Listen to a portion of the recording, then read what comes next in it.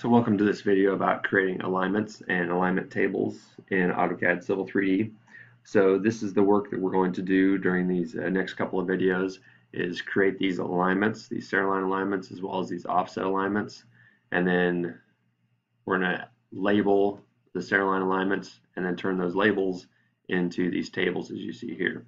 So what we're starting from is this drawing and it's based off of this information out of your textbook. This is P10-4 on page 335.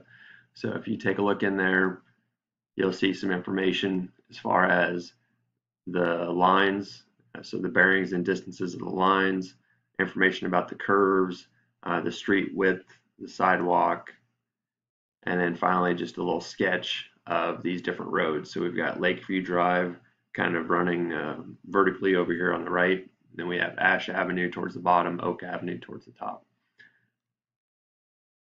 So the way we're going to start with this is go ahead and go out to the R drive, open up this file, P10-4 alignments hyphen student. Once you get it open, go ahead and save it on your U drive.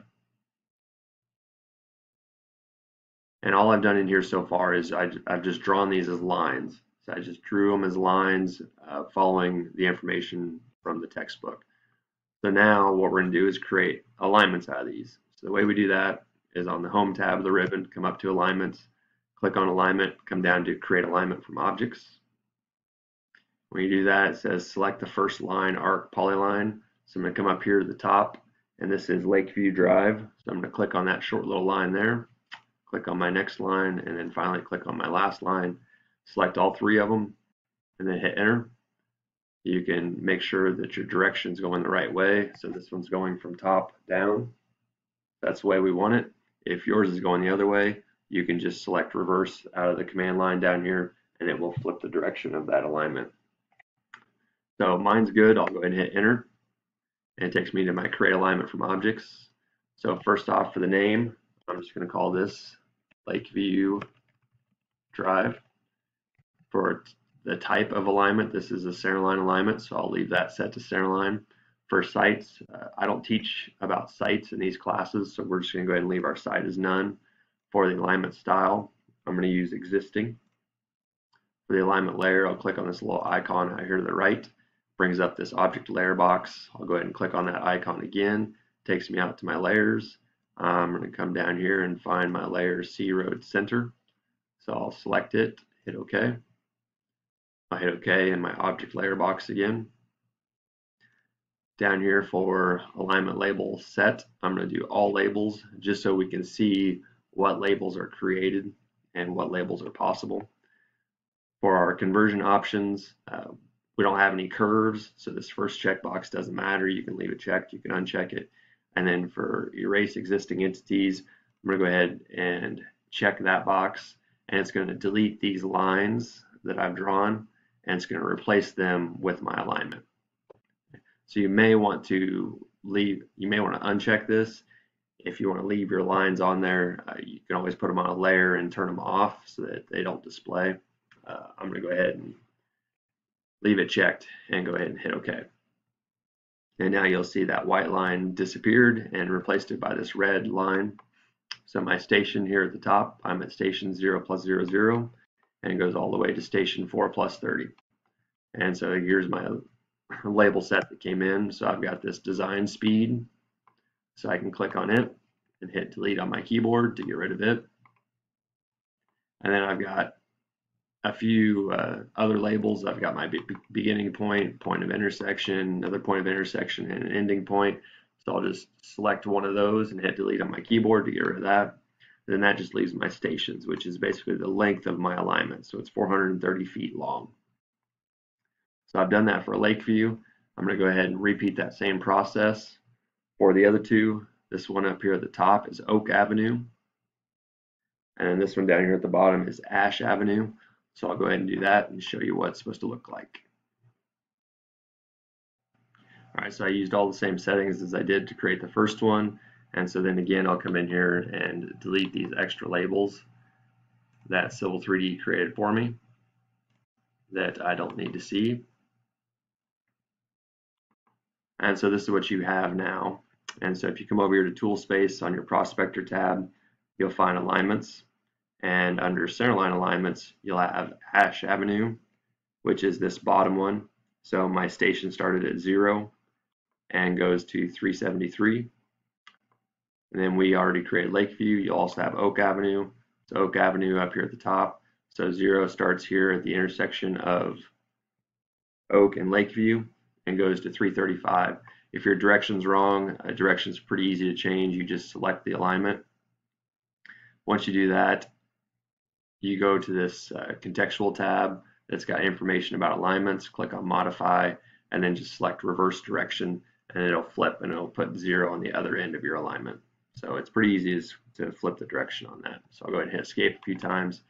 So now we've got our alignments. Now it's time to create our offset alignments. So the process is pretty similar to that that we did for alignments. Come up here on the home tab of the ribbon, click on alignment, come on down to create offset alignment.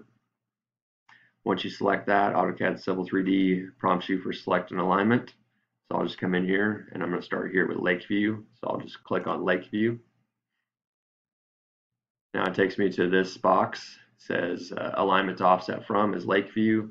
My offset's name template. I'll go ahead and leave that naming format the way it is. My station range, I want to go from the start to the end, so I'll leave those checked. I want one offset to the left of my alignment. I want one offset to the right of my alignment. From the information out of the textbook, I want these to be set to be offset 20 feet to each side. So I'll change those to be 20 feet. For my alignment style, I'll use offsets. Alignment layer, I'll go ahead and click on this little icon. It takes me out here to my object layer box. I'll click on that icon again, and I want to come down here and find C road line. So I'll select the C road line layer, hit OK. Hit OK in my object layer box.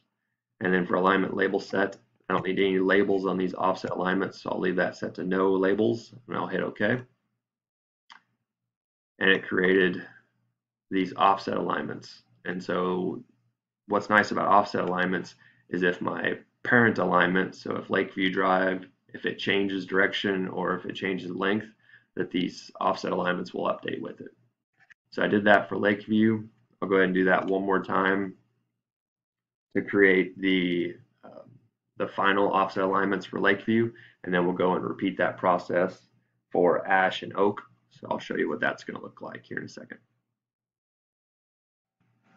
All right, so this is what we're looking for. That first set of alignments was 20 feet from the center. So then for this last set of alignments, referencing off a of Lakeview will be 29 feet from the center. Just remember when you're specifying your offsets, it's always from your parent alignment, so that center line alignment.